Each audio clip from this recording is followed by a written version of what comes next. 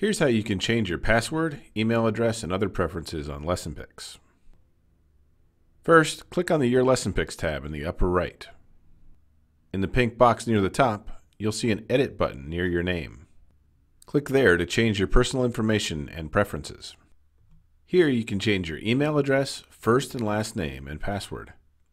Note that for security purposes, changing your username is not supported here.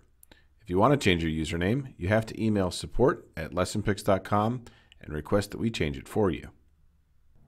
In addition to these identity fields, you can also set preferences like whether Unity symbols are returned in search results and how to handle pictures of mature subjects.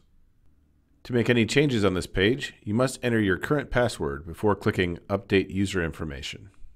Before we do that, notice the icon in the upper right. This picture is shown next to your name on your profile in the Sharing Center. We'll show you how to change that in a moment. Let's change our email address and enable Unity symbols. We enter our current password and click Update User Information. That's it, we've changed that information. Finally, let's take a look at how to change the picture that represents you in the Sharing Center. Go to any symbol. It can be a LessonPix picture or a private one you uploaded. When you click on the symbol and go to the image detail page, you'll see a blue button that says Set as My Picture. Click that to set this image as your symbol.